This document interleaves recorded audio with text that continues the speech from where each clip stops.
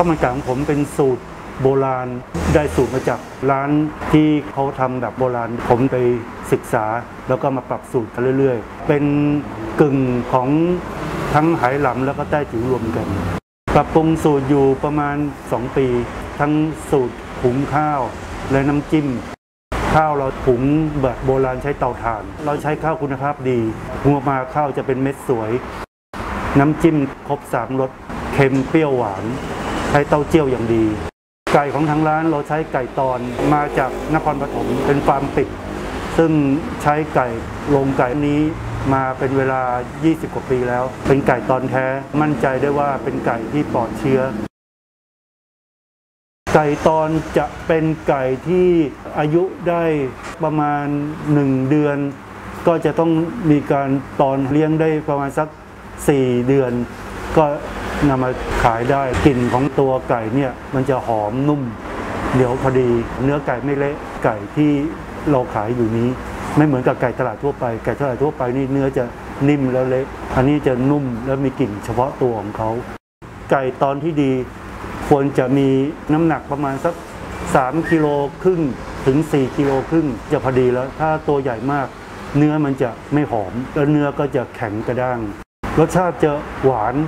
หวานธรรมชาติของไก่ แล้วก็จะหอมกลิ่นไก่ตอน ทั้งเนื้อและหนังเนี่ยจะนุ่มนุ่มแน่น รสชาติของไก่ที่หวานนี่ไม่มีการเพิ่มอะไรทั้งนั้นเป็นหวานธรรมชาติของไก่เลยครับ ไก่สายพันธุ์นี้เนี่ยเนื้อจะเป็นอย่างนี้ ถ้าเป็นไก่ตอนแท้นะครับ ปัจจุบันนี้ไก่ตอนแท้อาจจะมีน้อยลง เพราะราคาไก่ตอนตอนนี้ราคาสูงกว่า ไก่ธรรมดาทั่วไปประมาณเท่าตัว ตอนนี้หาร้านที่ขายไก่ตอนแท้จะหายากนิดหนึ่ง จะใช้ไก่น้ำหนักประมาณ 3 โลครึ่งถึงไม่เกิน 4 โลครึ่ง แล้วก็จะใช้ตัวผู้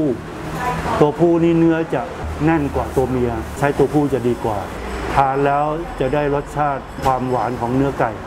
ซึ่งอันนี้จะเป็นหวานธรรมชาติของไก่อยู่แล้ว ไก่ที่มาส่งจะเป็นไก่ดิบ ผมจะต้องเอามาล้างทำความสะอาด เก็บถอนขนอะไรต่างๆ ให้เรียบร้อย ล้างทั้งข้างในข้างนอก แล้วก็เอามาต้ม เครื่องในก็ต้องแกะล้างให้สะอาด ไก่ตัวไซส์ขนาด 3 โลครึ่งก็จะใช้เวลาต้มอยู่ที่ประมาณชั่วโมงครึ่ง ถ้าไซส์ 4 โล 4 โลกว่า ต้องใช้เวลาประมาณ 2 ชั่วโมง เปิดไฟเบาต้มไปเรื่อยๆ ถ้าเราต้มไฟแรงเนื้อมันจะเปื่อยมันจะไม่อร่อยข้าวมันข้าวนะครับข้าวสารต้องใช้เป็นข้าวเก่า แล้วก็ต้องเป็นหอมมะลิร้อยเปอร์เซ็นต์ใช้คุณภาพดี ข้าวก็จะนุ่มและอร่อย แล้วก็หุงด้วยกรรมวิธีโบราณจะดีที่สุด การหุงสูตรโบราณก็ต้องมีเคล็ดลับในการทำวิธีการหุงข้าวสูตรโบราณของทางร้าน เราใช้เตาถ่านหุงข้าวด้วยเตาถ่าน เริ่มจากตั้งแต่เจียวมันไก่ เสร็จแล้วก็ใส่กระเทียม เจียวเสร็จแล้วก็จะใส่น้ำพอเดือดแล้วใส่ข้าวสารลงไป แล้วก็คนกวนไปเรื่อยๆกวนจนกว่าจะแห้ง พอแห้งแล้วปิดฝาหม้อแล้วก็เอาถ่านติดบนข้าวเป็นการอบซึ่งเขาเรียกว่าอบหน้าข้าว แล้วข้างล่างก็จะมีถ่านอบข้างล่างด้วย อบบนอบล่างเป็น สูตรโบราณที่ทำกันแบบนี้มาตลอดครับหุงด้วยเตาถ่าน ข้าวออกมาจะเป็นเม็ดสวยร่วน พอเราหุงเสร็จใหม่ๆเนี่ยแค่เราเปิดข้าวขึ้นมา ก็จะหอมน่าทานรสชาติของข้าวมันของผมนะครับ จะออกเค็มหวานใกล้เคียงกันพอดี ไม่โดดเกินไป จะหอมมันไก่ ไม่ใช่แบบหอมกระเทียมเจียวอย่างเดียวมันจะต้องมีหอมทั้งมันไก่ แล้วก็กระเทียมเจียวด้วย ซึ่งเป็นสิ่งสำคัญของการหุงข้าวมันไก่ที่ผมทำมาเนี่ยทั้งหมดกว่าจะได้สูตรนี้ต้องใช้เวลานานแล้วเราต้องลองผิดลองถูกไปเรื่องๆตอนแรกๆจนเดี๋ยวนี้เราก็รู้แล้วว่าเออเราควรจะต้องใช้แค่ไหน ถึงจะได้กลมกล่อมพอดี น้ำจิ้มของทางร้านนะครับ ใช้พริกขี้หนูสวนแท้เต้าเจี้ยว เราใช้เต้าเจี้ยวบดอย่างดีเอามารวมใส่ทั้งขิงทั้งกระเทียม ปรุงรสให้ได้เปรี้ยวเค็มหวาน ตามลำดับให้ได้รสชาติที่กลมกล่อมข้าวมันไก่เนี่ยเราควรจะต้องให้เป็นเค็ม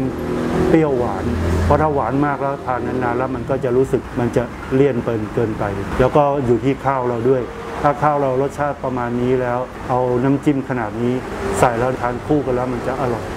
ครับน้ำจิ้มเราจะใส่ขิงกระเทียมจะมีความหอมของขิงและกระเทียม แล้วก็ พริกขี้หนูสวนถ้าใช้พริกแดงมันจะไม่หอม อันนี้จะเผ็ดแล้วก็หอมพริกขี้หนูสวนน้ำซุปก็จะต้มไก่ที่เรา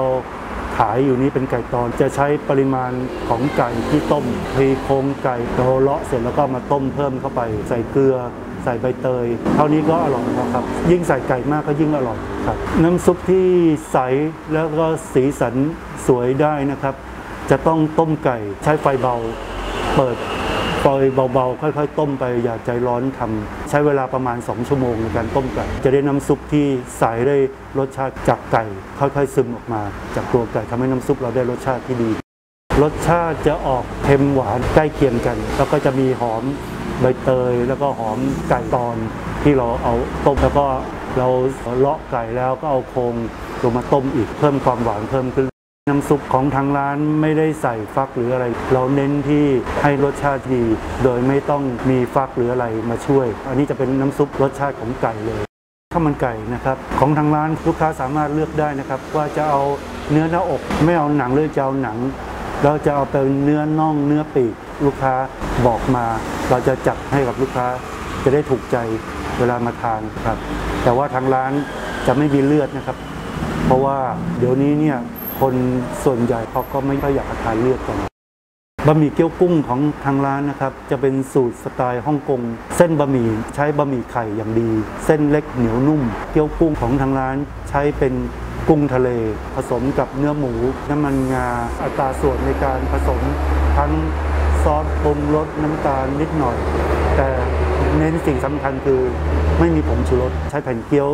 ไข่อย่างดี ไม่ใส่สีบางไม่เละแผ่นเกี๊ยว เหมือนกับเส้นบะหมี่ใช้แป้งตัวเดียวกัน วัตถุดิบจะต้องดีออกมาแล้วจะได้คุณภาพดีแล้วก็อร่อยรสชาติหอมกลิ่นกุ้งทะเลหอมน้ำมันงา ถ้าลูกค้าเคยไปทานที่ฮ่องกงที่นี่ก็จะรสชาติเดียวกันเลย อร่อยน้ำซุปก็จะหอมหวาน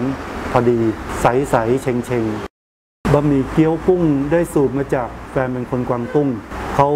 เคยทำเกี๊ยวกุ้ง เราก็มาปรับสูตรปรับจนกระทั่งได้สูตรลงตัวที่อร่อยก็เลยนำมาขาย หมูแดงของทางร้านก็ทำเองหมักกับซอสไม่ใส่สีหมักซอสใส่ทั้งน้ำมันหอยซอสปรุงรสแล้วก็หมักเป็นเวลา1ถึง2วันนะครับ แล้วก็เอามาเคี่ยวเคี่ยวจนเข้าเนื้อให้น้ำมันทอดแห้งรสชาติเค็มออกหวานนิดนึงนุ่มๆ ก๋วยเตี๋ยวต้มยำน้ำข้นไข่ลวกของทางร้านจะเป็นสูตรของเราที่เราคิดขึ้นมาตั้งแต่แรก ใช้พริกเผาที่หอมรสชาติเราจะไม่ทำเผ็ดมากเกินไป เข้มกลางๆ ไม่ถึงกับเข้มมาก ทางร้านมีข้าวหมูแดงหมูกรอบ ทั้งหมูกรอบหมูแดง ทั้งน้ำราดของทางร้านทำเองทุกอย่าง หมูกรอบเราใช้หมูสามชั้น เราต้องไปเลือกเอง เลือกที่มันอย่ามันมาก น้ำหมูแดงเป็นสูตรเฉพาะของทางร้าน จะมีใส่เครื่องเทศหลายตัว รสชาติจะเป็นเค็มหวานไม่หวานโดด เค็มนำนิดหนึ่งสีแบบธรรมชาติ ไม่ใส่สีแดงสีส้มอะไรอย่างนี้ ทางร้านเราจะไม่มีใส่ชูรสเลยนะครับ เพราะว่าผมเองเนี่ยเป็นคนไม่ชอบทานชูรสทานแล้วเราแพ้บางทีไปทานที่ไหนเงี้ยทานแล้วคอแห้ง ปากก็เจอ ทางร้านก็เลยไม่ใส่ชูรสเลย เพื่อให้สุขภาพดีกันทุกคนทั้งลูกค้าและตัวเราเองด้วย ร้านเหลียงข้าวมันไก่ตอนบะหมี่เกี๊ยวกุ้งฮ่องกงนะครับ อยู่ในซอยลาดพร้าว 71 เข้าจากปากซอยเข้ามาประมาณ 800 เมตร อยู่ถึงก่อน 3 แยกไฟแดง เลยปั๊มน้ำมันเอสโซมาประมาณ 300 เมตรครับอยู่ฝั่งเดียวกับปั๊มน้ำมันเอสโซซ้ายมือ เปิดขายทุกวันไม่มีวันหยุด เปิดตั้งแต่ 7 โมงเช้าถึงบ่าย 3 โมง ถ้าหมดก่อนบางทีผมก็ปิดแล้ว บ่ายโมงกว่าบ่าย 2 โมงบางทีหมดก็ปิดเลย ทำวันต่อวันเป็นของใหม่ทุกวัน ติดต่อได้ทางหมายเลขโทรศัพท์นะครับ 0816434844 และอีกเบอร์ก็ 0952065656 หรือติดต่อทางไลน์ก็ได้นะครับ ทักเข้ามาใช้ไลน์ ID ว่าเออเหลียง